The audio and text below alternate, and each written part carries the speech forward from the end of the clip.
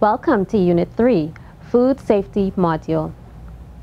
In the Food Safety Module, we will discuss the types of food safety hazards and identify types of human pathogens that can contaminate fresh produce. We will highlight the most common ways that produce can become contaminated on the farm and describe strategies to prevent and reduce risk of contamination in addition to emphasizing the value of commitment to implementing good agricultural practices. Let's get started. What are food safety hazards? A food safety hazard is any chemical, biological, or physical condition in fruits and vegetables that may cause illness or injury to the consumer. It is important to control food safety hazards while preparing the site for cultivation, during selection of planting material, and during production, harvesting, and post-harvest handling of fresh produce. For example, trimming, washing, grading, packing, transport, and storage. Contamination of fresh fruits and vegetables can occur directly or indirectly with contact of produce with hazards from soil, water, people, chemicals, equipment, fertilizer, soil additives, handling, transportation vehicles, and others. Good agricultural practices need to be adopted from preparation of the farmland during production, harvesting, and post-harvest handling of produce to minimize various food safety hazards and control unacceptable health risks to consumers. What are chemical hazards? Chemical hazards in fresh fruits and vegetables may be produced during production, harvesting, and post-harvest handling, during storage and transport of fresh produce, or can occur naturally. Types of chemical hazards include Number one, agrochemical residues such as pesticides and herbicides. Number two, non-agrochemical contamination, for example, fuels and lubricants. Number three, heavy metal contamination of the soil. And number four, naturally occurring plant toxins and allergens. What are biological hazards? Biological hazards are microorganisms or microbes such as bacteria, fungi, and viruses that can only be seen through a microscope. These are found everywhere in the environment and can be pathogenic or non-pathogenic. Pathogenic microorganisms are those that affect consumer health and cause illness either by the microorganism itself growing inside the human as an infection or by toxins produced by the microorganism. These microbes are mostly found outside of fresh fruits and vegetables, but some can enter the plant tissue. For example, bacteria such as E. coli and Salmonella fungi such as Penicillium, viruses such as hepatitis A, and parasites such as cysts of Giardia. Sources of biological contamination can come from poor personal hygiene practices such as coughing and not washing hands properly or regularly, contact with contaminated soil, untreated animal and human waste, or contaminated water used for handling produce. What are physical hazards? Physical hazards are foreign objects that can cause injury or illness to consumers. They can enter the food chain from the environment, equipment, containers, buildings, and structures, human handling of produce, and packaging material. Food safety challenges. Food safety can be challenging for a number of reasons. Number one, many fruits and vegetables are consumed raw, so there is no cooking or kill step to destroy pathogens that may be on the produce. Number two, contamination events are often random, affecting small portions of the crop, so knowing contamination has occurred is difficult. Number three, Microorganisms, as their name suggests, cannot be seen with the naked eye, so contamination is difficult to detect visually. Number four, contamination is usually present at very low levels and difficult to detect through product testing. Number five, produce with rough surfaces, for example, cantaloupes, or large folded surface areas, for example, leafy greens, and stem scars, such as tomatoes, provide great places for pathogens to hide, thereby making pathogens difficult to remove by any amount of washing at the farm level or in the consumer's home. For these reasons, the focus of food safety in fruits and vegetables is on preventing contamination from occurring in the first place. Remember, contamination is difficult to remove once present. How is food contamination spread? We have identified the three types of food safety hazards chemical, biological, and physical. These hazards can be caused by five contamination sources, which are humans, animals, soil, water, and buildings, equipment, and tools. Number one, humans can carry pathogens and spread them to produce by surface contact or other means while they work on the farm. Workers who directly contact produce through activities such as harvesting and packing have the highest potential for contaminating produce. However, others on the farm, such as visitors, office staff, and volunteers, can also contaminate produce.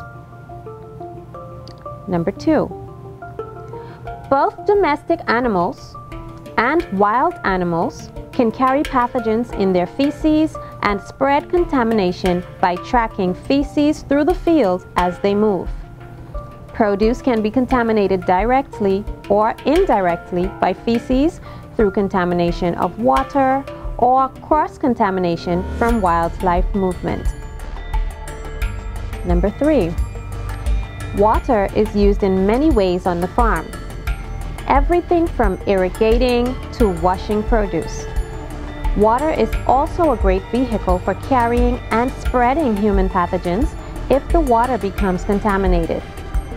Water can become contaminated at the source as well as at any point in its distribution and use.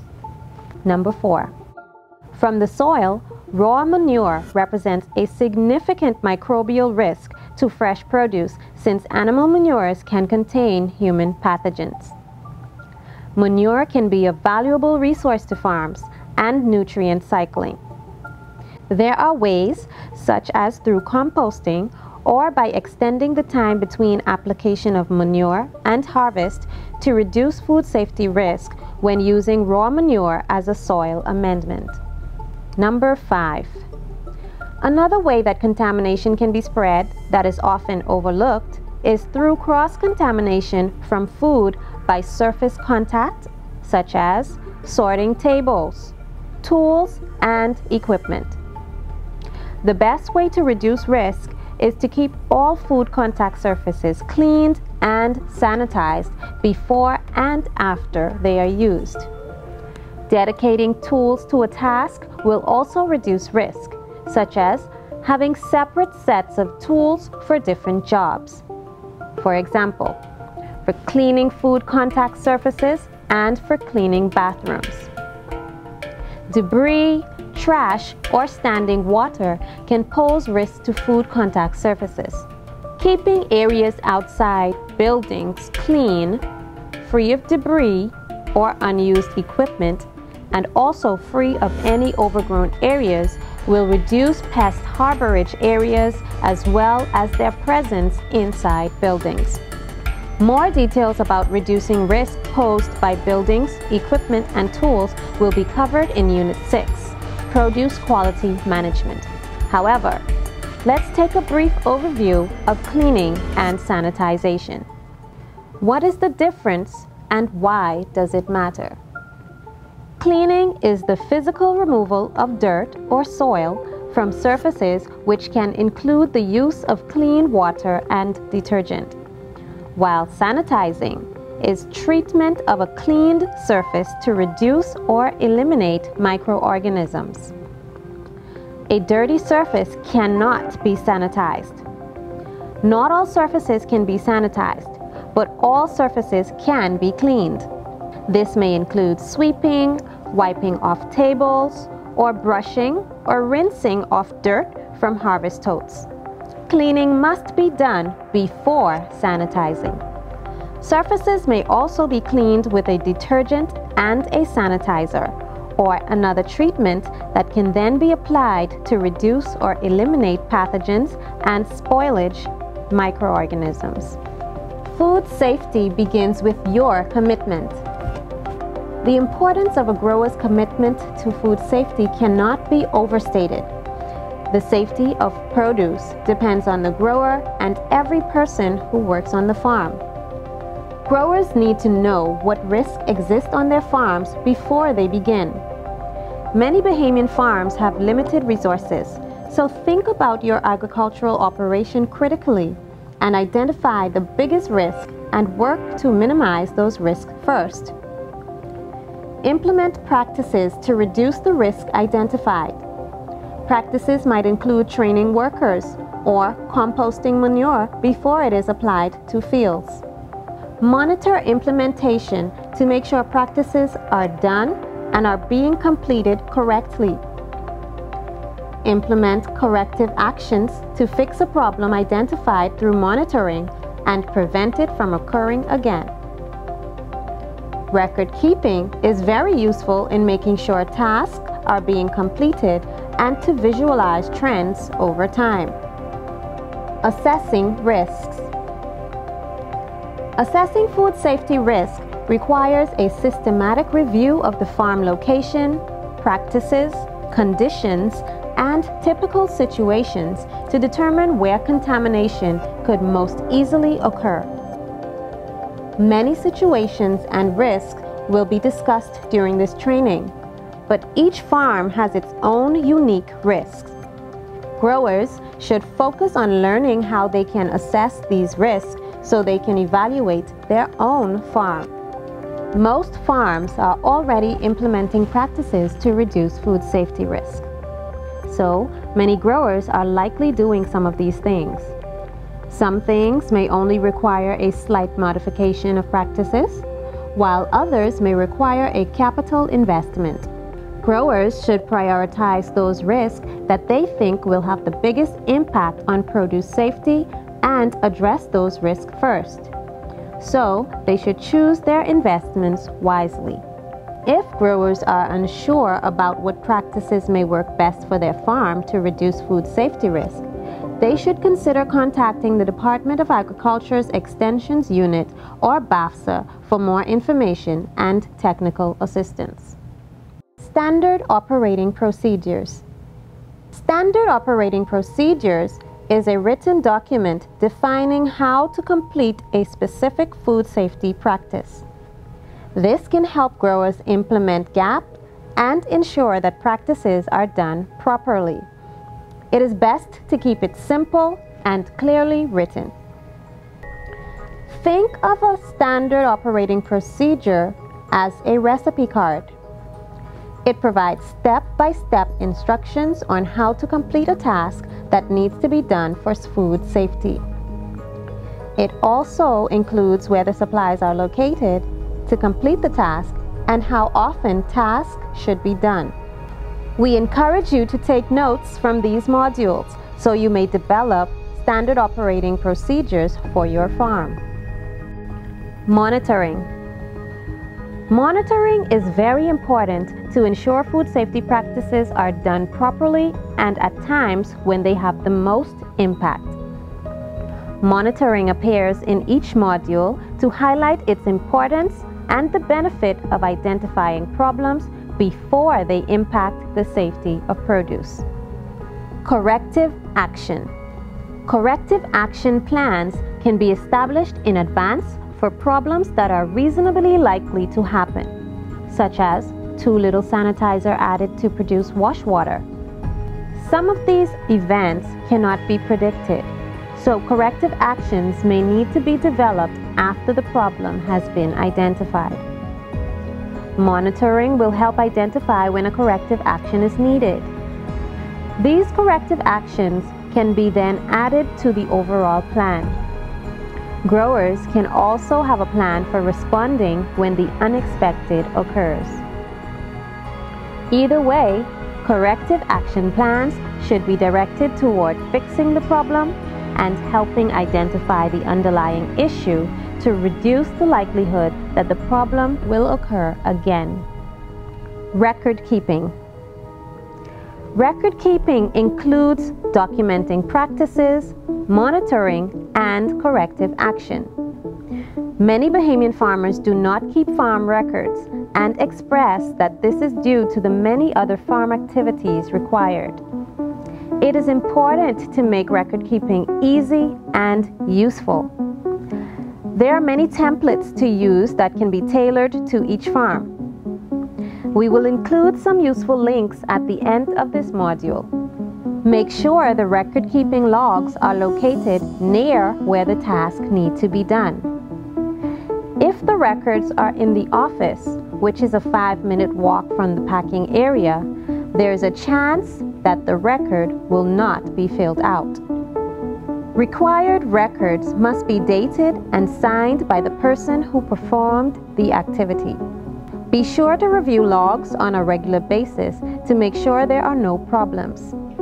Managers or a responsible party must sign and date certain required records after they are reviewed. Required records should be kept for at least two years past the date the record was created. Retaining records for at least this length of time is necessary to ensure that the records are available for reference during verification activities as well as during inspections or in the event something goes wrong. Electronic records are considered to be on site if they can be accessed from the farm via computer or other devices. In preparing for a hurricane, it is advised that records are removed from the farm office and kept in a safe place until after the storm passes. The benefits of record keeping. There are many benefits to record keeping. Some include the assurance that the task was completed and done properly. Record keeping allows for identifying trends or irregular activities that may cause problems in the future, such as toilet facilities that are frequently out of stock, indicating that they need to be checked and cleaned more often. Record keeping is required for certain activities, such as insurance purposes or technical assistance after a loss due to a natural disaster, drought, pest, or diseases. Record keeping basics duct tape, pencils, clipboards, log sheets, and plastic sleeves go a long way to facilitate record keeping. Technology can be used for record keeping as well. Phones, apps, tablets, and computers can make the transfer and saving of documents easy for food safety. This allows for a safe storage of records in the event of damages to the farm office during a hurricane if using electronic record keeping, be sure that the records are authentic and cannot be changed after entries have been made. A farm food safety plan. A farm food safety plan guides practices to ensure food safety. It gets you thinking about your unique farm and practices which will keep you organized to focus your time and resources more effectively. This plan ensures that everyone is involved and that your progress on achieving milestones is documented. In concluding this module, here are a few take-home messages. 1. Produce safety impacts every farm. Outbreaks also impact the health of consumers, they reduce confidence in produce, and influence consumption decisions. 2. The financial viability of farms depends on safe produce because outbreaks can negatively impact sales and the local economy. 3. Commitment to food safety is critical to the success of every farm food safety program. 4. Leadership should be provided to guide the implementation and management of produce safety practices on each farm. Never underestimate the value of setting a good example for all of your employees to follow. And 5. Writing a farm food safety plan is a good place to start. This concludes Unit 3 in our course on Good Agricultural Practices. Be sure to watch Unit 4, Environmental Management module.